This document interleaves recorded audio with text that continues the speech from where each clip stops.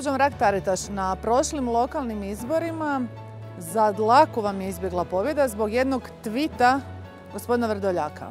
Sad idete ponovno u utrku, mislite da sad može neko tvita da vam pomogne da pobjedite? Pa nikad ne znate, ti tweetovi su vrlo neobični. Ovo je bio onaj jedan rano jutarnji ili kasno večernji tweet i zaista je, ali bilo je tu niz, Mislite da ste zbog toga izgubili izbore? Ja sam, ja točno znam zbog čega sam izgubila izbore. Date da sam sad generalno nakon bitke, da to uopće nema dileme. Prvo i osnovno nije bila podrška od moje vlastite stranke i znalo se da ako ja slučajno to dobijem, da onda slijede izvanredni izbori, da HNS neće ući u koaliciju s HDZ-om. Dakle, igra je bila puno veća. Zašto ste se zapravo odlučili sad opet Pa kandidirati? dakle, e, bilo je nekoliko razloga. Prvi razlog je bio taj što sam vidjela brdo kandidata koji su e, krenuli se nadmetati ludostima. Bilo je kandidata koji, znate, ko će izreći veću ludost? Pa ne može biti gradonačelnik ili gradonačelnica grada Zagreba neko ko će izreći veću ludost. Ja sam to... ne može? Pa ja nekako mislim da ne može. Mislim da je bilo tako. A gledajte, bilo je što je bilo, ali sad smo 2021. Nadajmo se da se nećemo, da nećemo stari muzej neispunjenih obećanja puniti i reći ajmo neispunjenih obećanja. Moja mama ima uzrečicu, ja sam ti rekla. Ja svaki put kad to kažem, mislim se pretvaram se u svoju mamu. Ja sam glasala protiv zakona o obnovi jer sam rekla da je zakon neprovediv.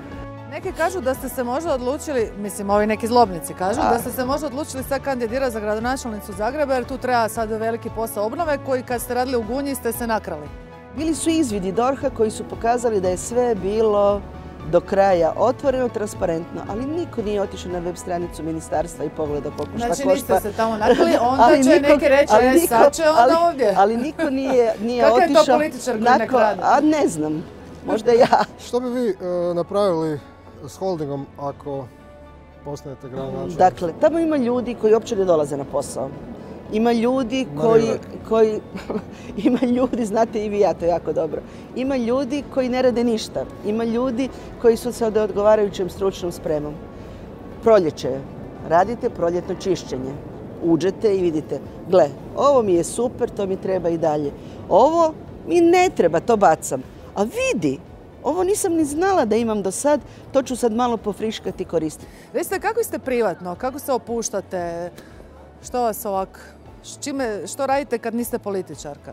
Jednom prilikom sam tako nešto radila i onda sam rekla doviđenja, sad se doma žurim, idem speglat veš.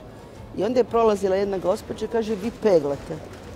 A velim, ja peglam, ja kuham, ja spremam. Ja vam jako volim čitat, strašno volim čitat i e, jako rado čitam. Čitam onak nekakvu, zapravo volim čitati krimiće, to mi je najdraže. Al, e, Ljubiće? Slabije, to Slabije. mi je nešto. To mi nešto nije. Strašno volim skijat, sad sam e, gledala ovaj, sva ova skijanja ove godine, snijega ko u priči. Ne možete nikud Pa ići. bilo i onda je sam, i na smroku. Da, pa imam unučicu što me jako veseli koja će imati 10 mjeseci. Imam zabranu uopće da to spominjem, ali ne možete mi zabraniti. Ne moram zdurat. I onda kad vidim, vidim u njoj neke onak, znate, svak vidi u nekom podmotku dio, dio sebe. Ona onak, kad ju nešto zanima, zafrče rukave, to ja isto radim i brzo onak puže do toga. A ja isto kad nešto krenem ovo napravim.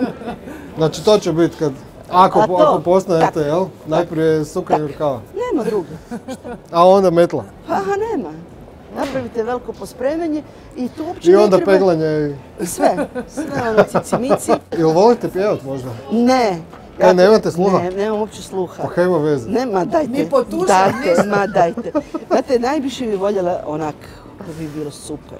Pozornica, pa na pozornici, pa ja sad pjevam. Ne, šta recimo? Pa dajte. A šta bi se prijavili, šta volite Šta ja znam? Ja vam recimo, ja sam iz nekog doba kad ja sam bila veliki zaljubljenik u Azru. To je iz mog doba, znate. Recimo, ja jako volim Parni Valjak, volim Rolling Stonese, volim Bruce Springsteena.